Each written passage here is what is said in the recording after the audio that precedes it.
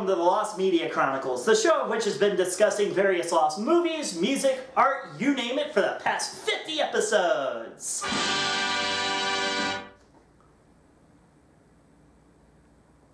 Trey, come here. Sit down. Sit down. What's up, buddy?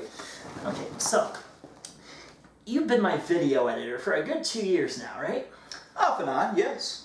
I'd say that you're uh, pretty good at doing what you do and, and helping helping me out. Well, you know. thank you. I do my best. So maybe maybe you can explain to me one thing. Sure. What the fuck was that? Well, that was your 50th episode title card. That's what we're on, right? 50 episodes of uh, Lost Media Chronicles. I don't pay you to make shit look that terrible, bro.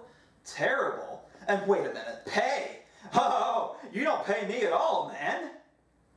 Yes, I do. I leave you a bag of peanuts every single time you do something like this for me. What do you think I am, an elephant? Get the fuck out of here. Anyways, I guess it's about time I got to this milestone, right? I've been doing this series for two years now. I know a lot of other YouTubers would have reached this milestone sooner, but I juggle this with a full-time job and my channel hosts a whopping three shows. Though my subscriber count remains small, and I want to do this for a living, I do enjoy doing what I do. So you might be asking, what am I doing for my 50th episode topic? Well, it just so happens to be the most requested topic I have ever had, and it's also probably one of the most popular and most famous cases of lost media. This is the story of the lost Doctor Who episodes. Now, two disclaimers. One, I'm sorry this took so long to get to. The research for this episode was a chore. Take a look at the Wikipedia page for this topic. That's insane.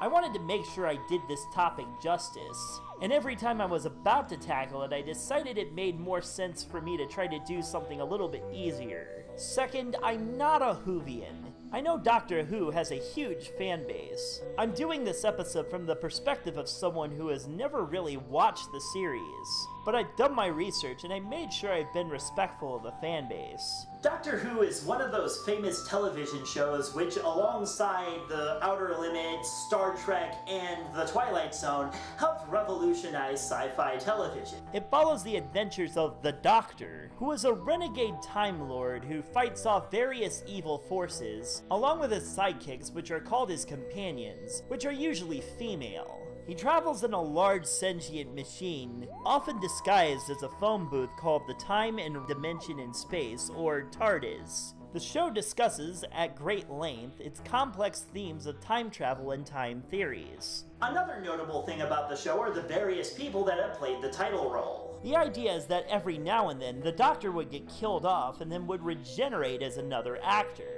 This not only allowed for new interpretations of the character, including the most recent female variants, but it also allowed actors that got bored with the role to move on to other prospects and career opportunities. The series is also a long runner, being well over 50 years old. The original version of the show lasted from 1963 to 1989, when executive meddling caused the show to come to an abrupt cancellation. It was rebooted in 2004 with a new look and style. The show's method of storytelling was also unconventional. Unlike other shows that had standalone stories that lasts a single episode, or stories that spanned an entire series, Doctor Who was split up into serials. Each individual storyline had a set of episodes that would allow for it to be told more effectively, and also without having to worry about trying to connect an overarching storyline to an entire series. That being said, it should be kept in mind that these serials were contained in the same expanded fictional universe. Now, Doctor Who has a long list of missing episodes, a grand total of 97 as of the making of this video to be exact. And at one point, there were probably as many as 200 missing. So what exactly happens? Well, with every piece of new media comes the frequent lack of foresight to archive it. Early film had film stock that would be repurposed or recycled. Early internet had sites that were shut down and were never saved.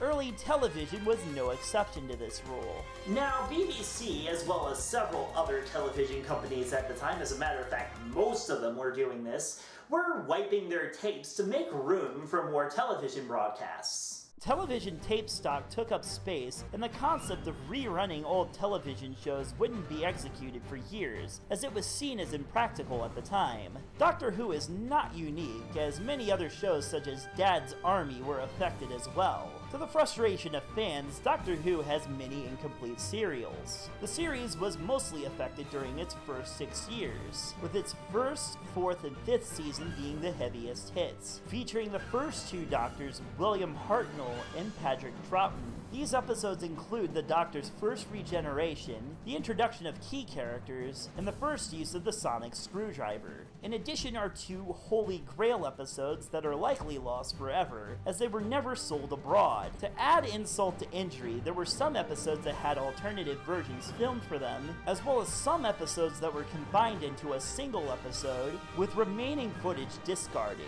Now you might be asking, have there been any efforts to help uncover these episodes? First off, some episodes were recovered from broadcasts with other countries, with both Australia and Nigeria being the biggest sources of these found episodes. There have also been instances where people have recovered copies in odd places, such as the time Bruce Campbell found some episodes in the collection of a convention goer. Now another thing to keep in mind is that the audio in the scripts for every single episode still survive. In some cases, the original audio track was recovered. But guess the biggest contribution to the surviving audio? That's right, the fans. Doctor Who's devoted fan base had recorded the audio for various reasons. This audio has paved way for reconstructions of episodes. In some cases, they would be reconstructed using stills or telesnaps. What's really interesting is that some episodes were reconstructed using animation.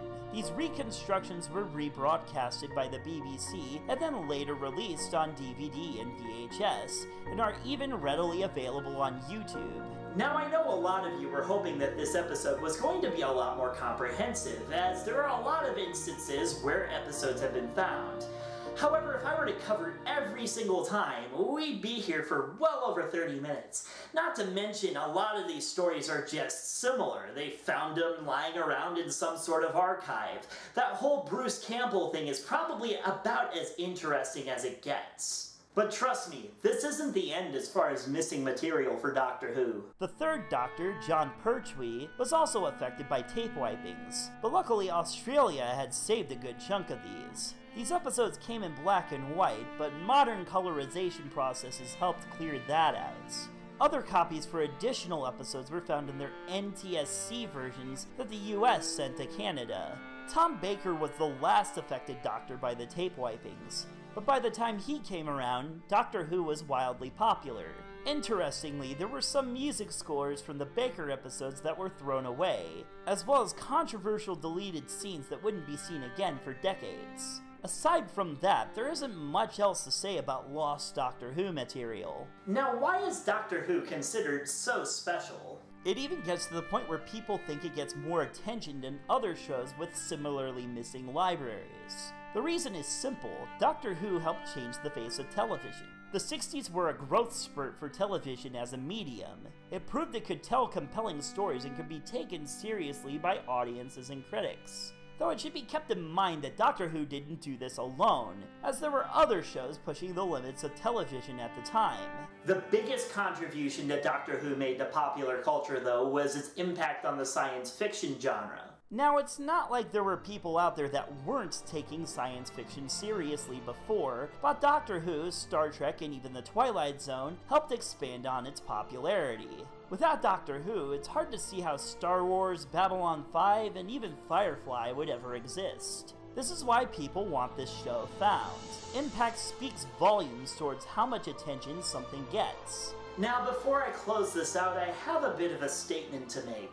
Guys, I'm gonna be honest. I'm getting a little burnt out on the Lost Media Chronicles. I know that's what a huge chunk of you people subscribe for on this channel. I have had fun making these videos, but my ambitions and current interests have been pushing me more towards my music reviews. I've been working on this show now for two years. Please don't take this the wrong way, I'm not ending the series, but I do feel like a break is in order. I want this show to be good. I don't want to come across as disinterested or disconnected. So this is going to be the last Lost Media Chronicles featuring me until 2018. I'm thinking of letting other people take a whack at it. Some fresh faces to keep the show's touch and passion going. If you haven't already, please check out my other shows. Two Beats Plus is making a comeback with a new co-host, and Adventures in Finaland is going to be the big focus for the next four months. I have a long list of albums I've been wanting to cover before the end of the year, and I feel like Lost Media Chronicles keeps me from being able to work on these. I ask you to have faith in me. I know YouTubers break their word pretty often, but I promise this series will be back. I'm going on hiatus so that way I don't ever have to end this series. But seriously, guys, I am grateful for every single subscriber that I have on here. And I do thank you sincerely for watching. And whether you're old or new, please do check out other episodes of The Chronicles, not just my other shows, even though I'm kind of trying to hoard them off a bit, so to speak. So, I guess I will see you guys next time. Or will I? It will probably be somebody else sitting in this seat. Maybe a different gender. Because we all know how that worked out for the Doctor Who franchise. See you later.